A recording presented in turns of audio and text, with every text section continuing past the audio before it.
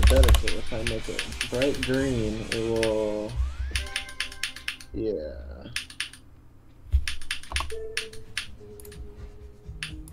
I can't bump.